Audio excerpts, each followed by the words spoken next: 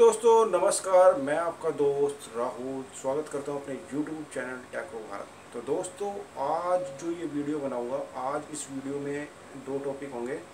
पहला टॉपिक ये होगा कि जो 15 साल पुराने व्हीकल हैं, जैसे टू व्हीलर फोर व्हीलर तो उनका रजिस्ट्रेशन किस तरीके से होता है? क्या प्रोसीजर है? क्या डॉक्यूमेंट है? क्या फ़ीस लगती है? वो सारा मैं इस वीडियो में कवर करूँगा। और दूसरा ये कि जो दिल्ली एनसीआर में जो 15 साल पुराने व्हीकल हैं क्या वो रजिस्टर्ड होंगे या नहीं होंगे? क्योंकि दोस्तों इससे पहले मैंने एक वीडियो बनाई थी जिसमें ये बताया था कि जो सुप्रीम कोर्ट और आ, इंडिया की जो गवर्नमेंट है एक गाइडलाइंस निकाली थी कि 15 साल पुराने व्हीकल का री रजिस्ट्रेशन हो सकता है। उसमें मैंने काफ़ी चीज़ें बताई हैं तो आप आई बटन में जाके उस वीडियो को देख सकते हो और इन्फॉर्मेशन गैदर कर सकते हो। तो दोस्तों, जैसा कि आपको पता है कि जब कोई नई गाड़ी मार्केट में आती है, उसका जो रजिस्ट्रेशन होता है, नया रजिस्ट्रेशन होता है और पंद्रह साल के लिए वो रजिस्टर्ड होती है किसी भी आरटीओ ऑफ़िस में, जब उसको पंद्रह साल पुरानी हो जाती है, जब पंद्रह साल उसको कंप्लीट हो जाते हैं तो उसका नया रजिस्ट्रेशन कराया जाता है। वो बहुत ही मैंडेटरी है, बहुत ही एसेंशियल है, ज़रूरी है। अगर आपकी व्हीकल को 15 साल हो चुके हैं तो आपको उस व्हीकल का दोबारा से रजिस्ट्रेशन कराना ज़रूरी है।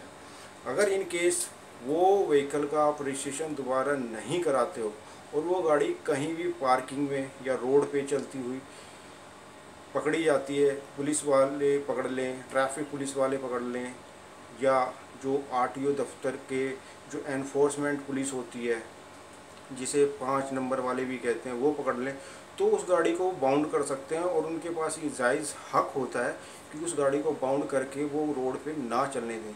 क्योंकि वो गाड़ी इस तरीके से जो पंद्रह साल रजिस्ट्रेशन पुराना हो जाता है, वो इनवैलिड व्हीकल हो जाता है जो रोड पे नहीं चल सकता। इवन आपकी गाड़ी अगर किसी पार्किंग में भी खड़ी है और उसके बारे में किसी को, पुलिस वाले को जानकारी हो गई कि पंद्रह साल पुराना व्हीकल है तो उसके मालिक को बुला के उसकी आर चेक करके और ये देखा जाएगा कि वो पंद्रह साल पुराना है तो उसको तुरंत पुलिस जब्त कर लेगी और उसको स्क्रैप में भेज देगी। और स्क्रैप होने के बाद जो पैसा मिलता है वो मालिक को दे दिया जाता है ओनर को। ये वो केस है, जब आप पंद्रह साल पुराना व्हीकल हो जाता है, तब भी आप उसको रोड पे रन करते हो बिना री रजिस्ट्रेशन किए हुए। अब सवाल आता है कि जब हमें पंद्रह साल पुराना हो गया है व्हीकल तो आपका रजिस्ट्रेशन कैसे कराएँगे?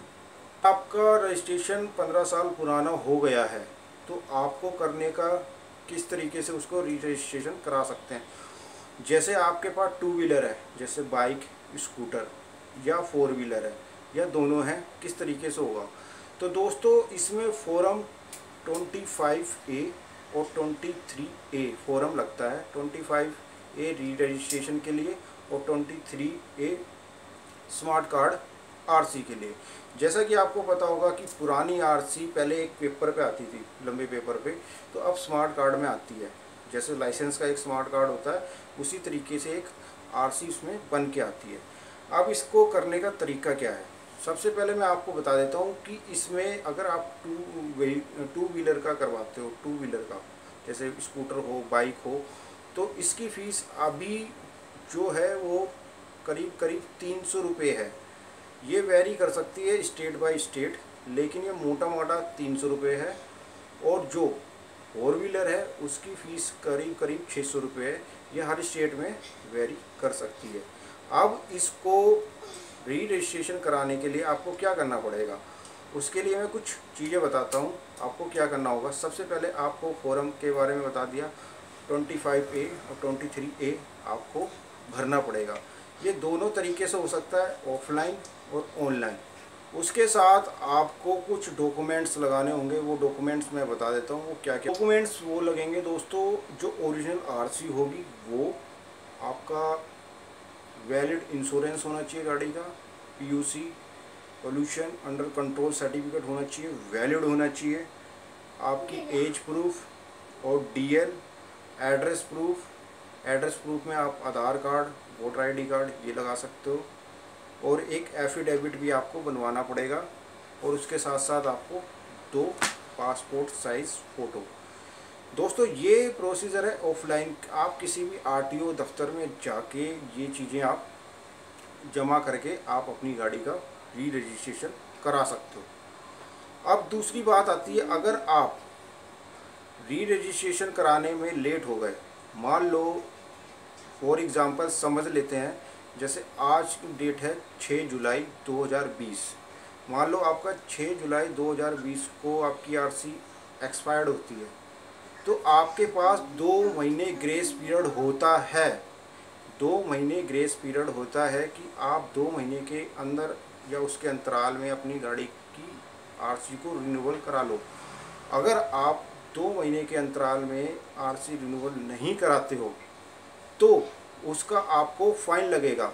जैसे बाइक के लिए आपको जो पेनल्टी लगेगी, वो कम से कम आपकी मतलब मंथली के हिसाब से लगेगी। जैसे तीन सौ रुपये मंथली अगर आपने दो महीने, तीन महीने अगर आपने डिले किया तो आप उसे मल्टीप्लाई कर लीजिए। जैसे थ्री हंड्रेड रुपीज़ आपकी मंथली पेनल्टी लगती है तो अगर आपने छः महीने नहीं कराए तो छः ती अट्ठारह अट्ठारह सौ रुपये आपकी पेनल्टी लगभग लगभग लग सकती है।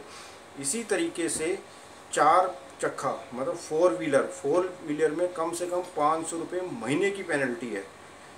तो अगर आपके तीन या चार महीने ग्रेस पीरियड से ऊपर जाते हैं तो वो पाँच सौ रुपये पर मंथ के हिसाब से आपको पेनल्टी देनी पड़ सकती है।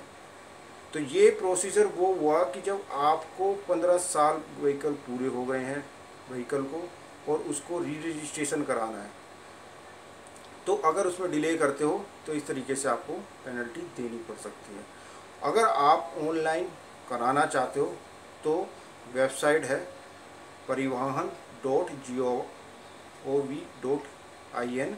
इस पर आप जाओगे, दो पोर्टल खुलेंगे, एक होगा सारथी, एक होगा वाहन।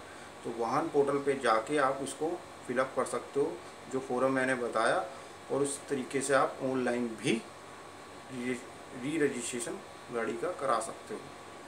अब दोस्तों, सवाल ये आता है कि जो पंद्रह साल हो चुके हैं गाड़ी में, दिल्ली और एनसीआर की गाड़ियों में क्या वो भी री रजिस्ट्रेड रजिस्टर्ड होंगी? ये बहुत लोग मेरे से ये सवाल पूछते हैं। तो दोस्तों, मैं ये बता देता हूँ, पंद्रह साल के बाद जब गाड़ी का रजिस्ट्रेशन दोबारा होता है, वो पाँच साल के लिए एक्सटेंड होता है। हर स्टेट अपने अपने अकॉर्डिंग वो एक्सटेंशन व्हीकल को दे देता है। अब उसमें क्या होगा? जो दिल्ली एनसीआर में व्हीकल है, दिल्ली एनसीआर में जो व्हीकल हैं केवल केवल उनके लिए सुप्रीम कोर्ट की एक गाइडलाइंस है कि अगर आपका व्हीकल पेट्रोल में है या सीएनजी में है, कार की मैं बता रहा हूँ पेट्रोल या सीएनजी में है तो वो व्हीकल आपका 15 साल के लिए वैलिड माना जाएगा इस दिल्ली और एनसीआर के जोन में। अगर आपका व्हीकल डीजल है डीजल वर्जन है तो डीजल वर्जन 10 साल के लिए ही वैलिड होगा। इससे अगर ऊपर जाता है तो वो इनवैलिड व्हीकल माना जाएगा रोड के ऊपर। उसकी एक बेशक से उसकी 20 साल की आरसी क्यों ना हो 25 साल की क्यों ना हो, वो वैलिड नहीं माना जाएगा क्योंकि सुप्रीम कोर्ट की साफ़ साफ़ गाइडलाइंस हैं कि कोई भी व्हीकल जो पेट्रोल सीएनजी में है वो 15 साल और डीजल में है वो 10 साल से पुराना नहीं चल सकता है। क्योंकि ये पोल्यूशन को देखते हुए कि दिल्ली में पोल्यूशन बहुत बढ़ रहा है तो इसको मद्देनज़र रखते हुए इंडियन गवर्नमेंट ने और सुप्रीम कोर्ट ने ये ऑर्डर पास कर रखा है कि इतना पुराना व्हीकल नहीं चल सकता है। तो दोस्तों, इस वीडियो में मैं फिर से क्लियर कर रहा हूँ कि दिल्ली और एनसीआर मतलब दिल्ली के जो एरियाज़ हैं, जैसे फरीदाबाद हो गया, नोएडा हो गया, गाजियाबाद हो गया, गुड़गावा हो गया, कोई भी जो एनसीआर एरिया दिल्ली का होता है, उसके अंदर पंद्रह साल का व्हीकल अगर पुराना है तो वो री रजिस्टर नहीं होगा किसी भी कीमत पे।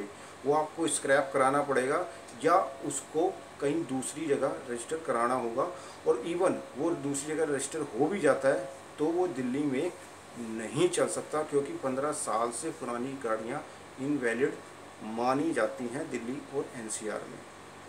तो दोस्तों, आपके सारे सवाल की कोशिश की है कि मैंने इसमें जवाब देने की कि इस वीडियो के मद्देनज़र बहुत से क्वेश्चंस में से पूछे गए थे लास्ट वीडियो में। पंद्रह साल पुराने व्हीकल अब चल सकते हैं रोड पे।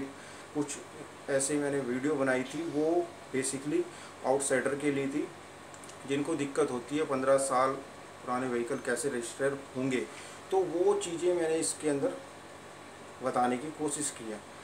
अगर उसके बाद भी कुछ सवाल रह जाते हैं तो आप मेरे से पूछ सकते हो। उसके रिगार्डिंग मैं आपको जानकारी देने की कोशिश करूँगा। तो दोस्तों, ये सारा मसला था, मैंने समझा दिया इस वीडियो में कि किस तरीके से मसला है। तो उम्मीद है कि आपको इन्फॉर्मेशन अच्छी लगेगी और ये वैल्यूबल कंटेंट है। जिन दोस्तों को अपने पंद्रह साल के में थोड़ा सा अंतर लगता है कि कैसे होगा, कैसे तो उनको ये हेल्प कर सकती है। तो दोस्तों, इस वीडियो में इतना ही। फिर मिलते हैं दूसरी वीडियो में नई जानकारी के साथ। जब तक के लिए दोस्तों, नमस्कार। जय हिंद जय भारत।